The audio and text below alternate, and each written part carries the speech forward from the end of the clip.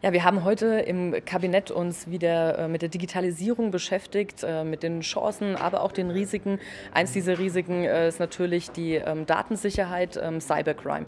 Wir haben eine Cybercrime-Strategie ähm, entworfen mit den gesamten Ressorts und haben uns überlegt, was wir den Bürgerinnen und Bürgern, unseren Unternehmen, aber auch dem staatlichen Apparat an die Hand geben können, um sie dort zu schützen, um sie fit zu machen, in der Digitalisierung auch einfach sicher unterwegs zu sein.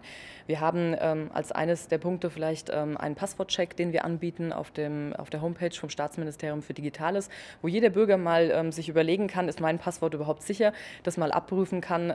Auf der anderen Seite war E-Government ähm, bei uns ein Thema gewesen.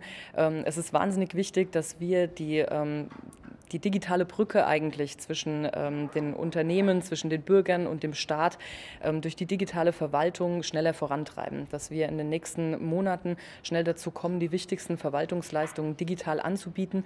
Die Kommunen sind unser, unser Gesicht zu den Bürgern nach draußen, die, ähm, was bürgerfreundlich, effizient, ähm, klar und verständlich nach außen kommuniziert werden muss und per, per Mausklick zu erledigen ist. Und das kann nur passieren durch eine ähm, digitale ähm, Verwaltungsleistung und äh, da sind wir mehrfachen Schritten dabei, das alles zu digitalisieren.